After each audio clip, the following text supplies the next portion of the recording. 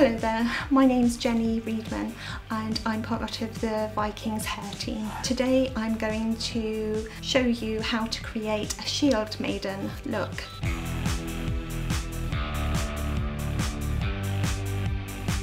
Do the plait onto the face here, flip it over, just secure the end there with a little bit of elastic, sew it in with a little bit of leather.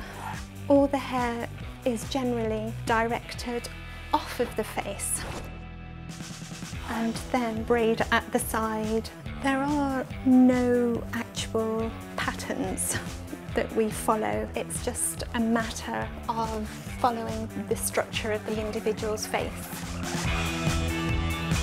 There's going to be a little flowing hair at the back. This is human hair weft, hiding the loose ends of the leather.